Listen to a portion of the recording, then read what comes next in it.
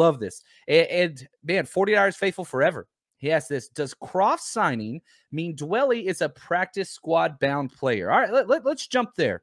Let's go there. Great question. The 49ers go out and sign Tyler Kroft, tight end.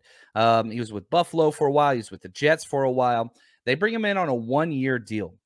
There's a lot of tight ends on this roster currently. Uh, there really, really are. Kittle, stow him away. He's number one. Woerner, he's number two ish.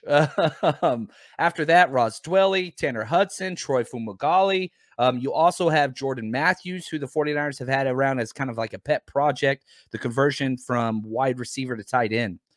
But Dwelley lost so many snaps. You know, I, I put out a tweet once the sign was taken, uh, once they signed him. And it said something to the effect of, man, that tight end two spot is going to be a heavy competition battle, just like the majority of the 49ers roster. And I didn't put Dwelley's name on it. I don't even think he's in contention for the tight end two spot. Even though he used to have it, he lost that. Um, his snap count completely disappeared down the stretch in the playoff run, um, even before the playoffs. Charlie Woerner took that spot from him. So, what does this Kroft signing mean? One, it insulates you from injury. That's number one. And the 49ers continue to build this high end competition on the back end of their roster. It, used to, we would go into this say, okay, here's our number one, number two, number three tight end. Nope, not this year. There's three different guys that could win that tight end three job. I think Tyler Kroft has the best chance of securing the tight end three job, but doesn't mean he will. Troy Fumagalli, he, he's a fun guy to watch. Tanner Hudson got decent amount. He's probably going to be, you know, a practice squad guy uh, based on the contract. He got that 895 number, which is basically like, hey, we'll pay you basically a guaranteed full year. You sign with us, uh, practice squad, we got you covered. But Kroft, I don't think he's a practice squad guy. And I fully expect Kroft to win that tight end three spot.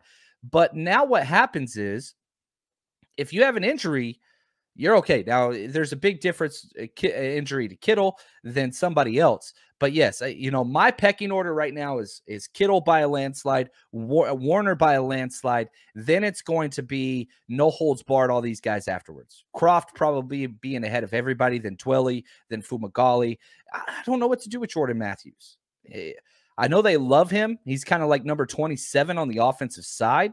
What that looks like, where he's going to go uh, I, I don't know. I think they like having him in the locker room, and I think eventually he'll be a coach. Do I think that he's going to get meaningful snaps? I think that he is basically a Kittle wide receiver type replacement. If that, like, that's it. In case of emergency, break Jordan Matthews' glass, and so you would bring him in just as a receiving component. Um, but again, that that's just me. Like, a, there's been no camp reports. There's been no, you know, that's not Shanahan. That's not Lynch. That's just me. Uh, that, that's what I think that they're keeping him for, just stashing away. If something happens to Kittle, you put him in there as a receiving option only. That's my guess. Uh, again, you take that for what you want.